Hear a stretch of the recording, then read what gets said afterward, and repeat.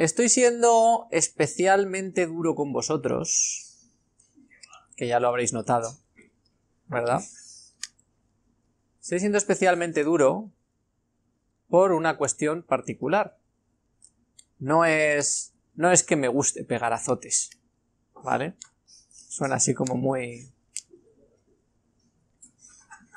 Particularmente quiero que seáis conscientes de que ser profesional, que es lo que seréis cuando salgáis de aquí, implica que vais a trabajar en entornos duros.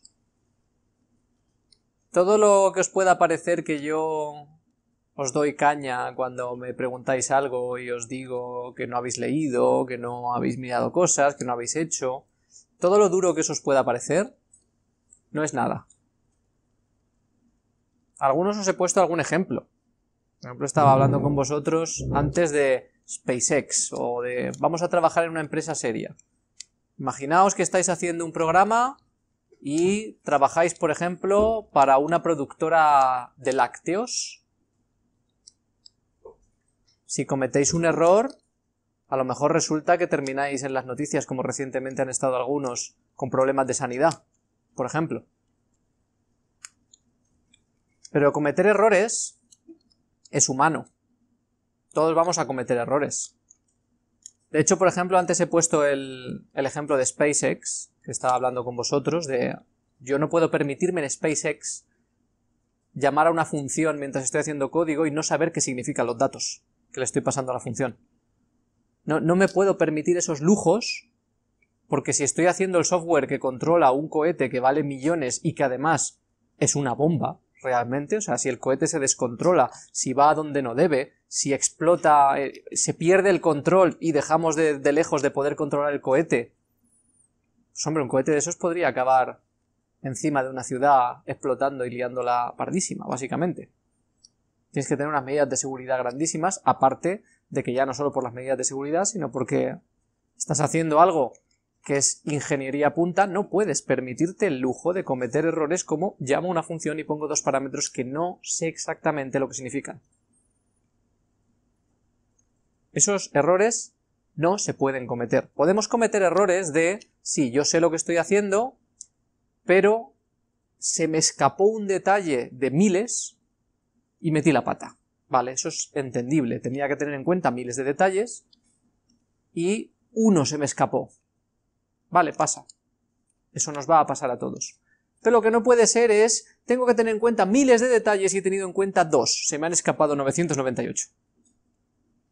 Esto no puede pasar. Y os lo digo porque mi intención como profesor, y supongo que la de muchos profesores que estamos aquí, no es que vosotros simplemente tengáis un papelito que diga, firmado por el rey, diga, ah, mira, tienes un título, qué guay eres. Mi intención es que seáis los mejores ingenieros posibles. Y confío en que vuestra intención también sea la misma. Que queráis ser los mejores ingenieros que vosotros podáis ser. Y para eso no hay atajos. No hay ningún atajo. Es trabajar y enfrentarse a condiciones duras. Cualquier práctica que os diga, sí, sí, sigue esto, ponga aquí, haz esto, y que os simplifique la tarea real, os está engañando. Cuando vayáis a hacer cualquier cosa de ingeniería de verdad, de ingeniería de la buena, de ingeniería de me voy a empresas grandes, me voy a IBM, a ARM, a Intel, a SpaceX, me voy a cualquier sitio donde haya que hacer ingeniería de la buena, vais a estar en condiciones duras de trabajo, condiciones donde uno no puede meter la pata. Uno no puede hacer el software de una máquina que le da insulina a diabéticos que están en coma y equivocarse con la dosis. Uno no puede hacer eso porque matas personas. No puedes hacer el software de control de aviones y no saber qué significa un parámetro en una función. No se puede. Son condiciones duras, son así. Entonces, soy un poco duro con vosotros porque en cierto modo intento simularos un poco condiciones duras. Y ya os digo que lo duro que yo soy con vosotros es ridículo comparado con las condiciones duras que os vais a encontrar fuera si vais a cualquier sitio serio. Que yo espero que de verdad vayáis a sitios serios. Espero que de verdad vosotros, con vuestro trabajo, consigáis ser los mejores ingenieros posibles y vayáis a sitios de verdad, a sitios buenos, a sitios donde queráis estar y digáis, me mola trabajar aquí, esto es un sitio donde merece la pena el trabajo que hago, donde sirve para algo. Entonces, bueno, espero y confío que aunque de vez en cuando os digo cosas y en cierto modo os puede resultar un poco duro, que entendáis que hay un propósito, que no es que, que no es que os quiera eh, sacar un látigo y daros, sino hay un propósito detrás, y que espero que os lo toméis como lo que es. Es la intención de que reaccionéis, de que digáis, esto es duro, pero yo me voy a sobreponer, voy a hacer, voy a trabajar, voy a conseguir, y a superaros a vosotros mismos, que es lo que importa. Vuestro peor fallo, en la actualidad, os lo he ido diciendo a muchos. Vuestro peor fallo viene de la costumbre. Estáis acostumbrados a lo que yo en la charla que di este fin de semana en... di una charla en, aquí en IBI, en el Museo de, de Arcade Vintage, lo que yo llamo el modo tutorial. Estáis acostumbrados a que en general se os diga tienes que hacer A, B y C y vosotros vayáis a un sitio y hagáis A, B y C. Vale, a veces hay que hacer un pequeño ajustillo, pero más o menos es eso. Más o menos se os pone trabajo en este trabajo se resuelve así y luego da una práctica donde tienes que hacer exactamente lo que te han dicho que tienes que hacer. Pero esta práctica que estáis haciendo no es tienes que hacer exactamente lo que yo os diga que tengo que hacer. Yo os pongo ejemplos donde programo, la mayoría cogéis gran parte de mi código e intentáis aplicarlo, pero en cuanto queréis hacer algo, no vale mi código, queréis hacerlo vuestro. Tenéis que crearlo vosotros. Esa es la realidad.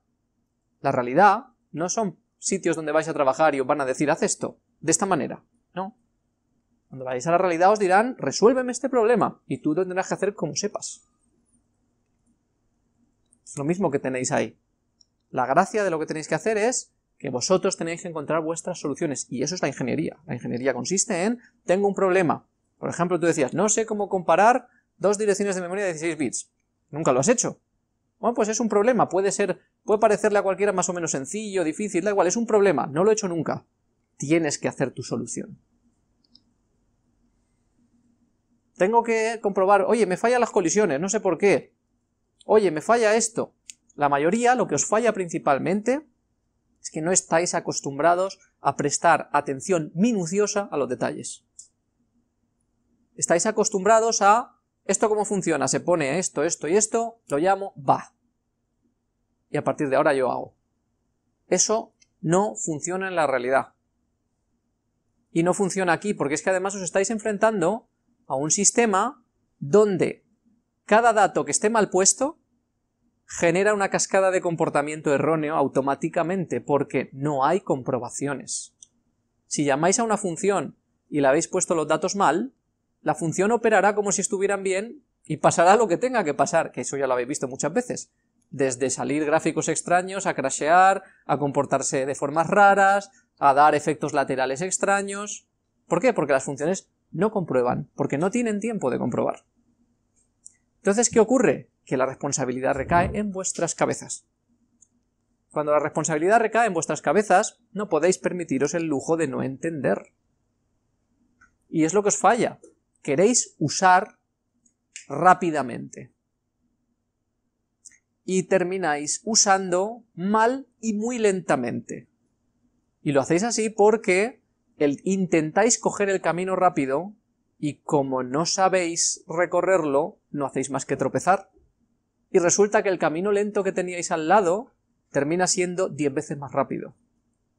Camino rápido es voy a mirar los dos o tres parámetros, los pongo, llamo y ya está.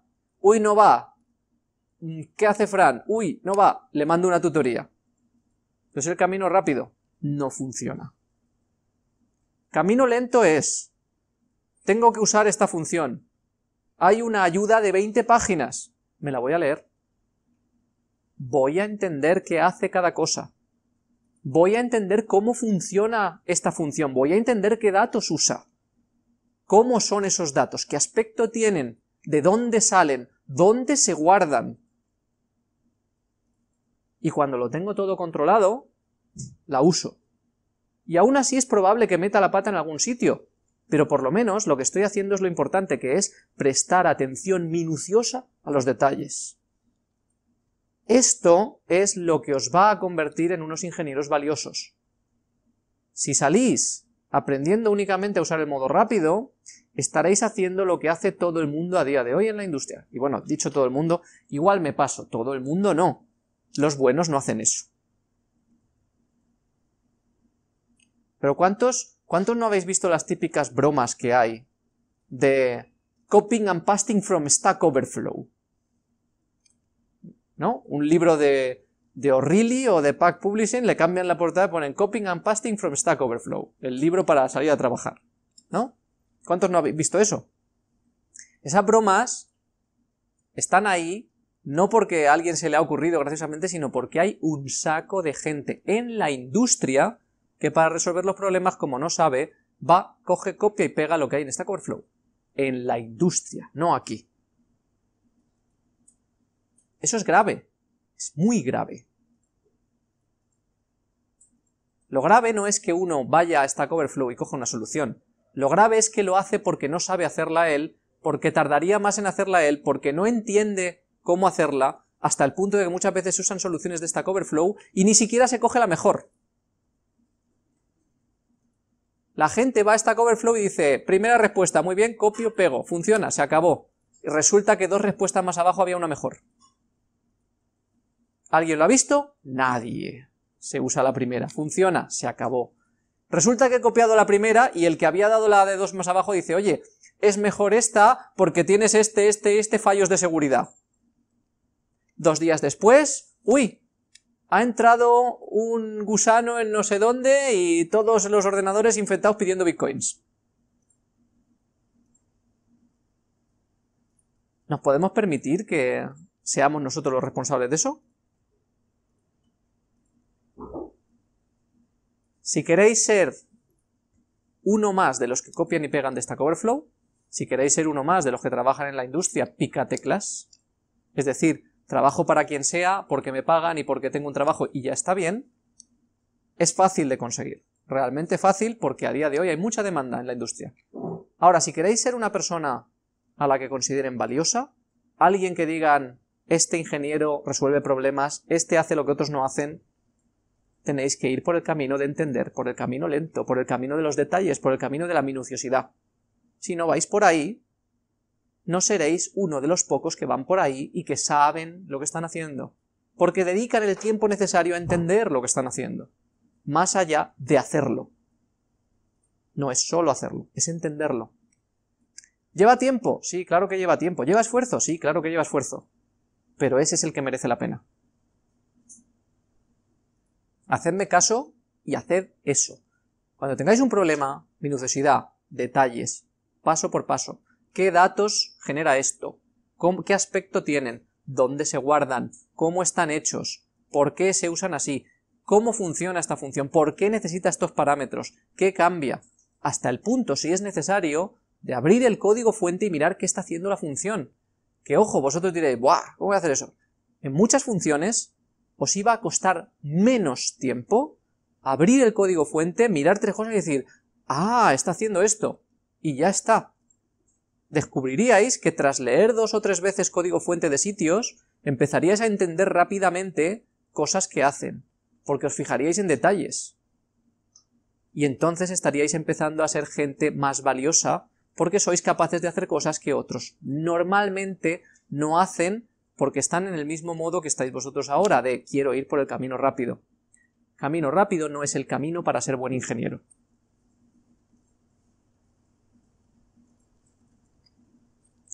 Creo que está bien de charlita, ¿no? ¿Sí? ¿Lo dejamos ahí? Tenéis una semana para terminar vuestros juegos. Todo lo que ahora mismo tengáis con problemas de no entender, Hacedme caso y seguir este camino. Minuciosidad, detalles hasta que lo entendáis. Tardaréis menos que si intentáis hacerlo funcionar sin entender. Porque si lo hacéis funcionar sin entender tendréis otro problema. No funcionará todo el tiempo. En cuanto empecéis a hacer cosas con ello, volveréis a cometer los errores porque no sabéis dónde están y seguiréis teniendo el problema iterativamente. Entended las cosas, tendréis menos errores. Segunda parte. Haced lo que yo he hecho aquí muy a menudo no construyáis software con 27 cosas antes de probarlo. Coged una sola. Una.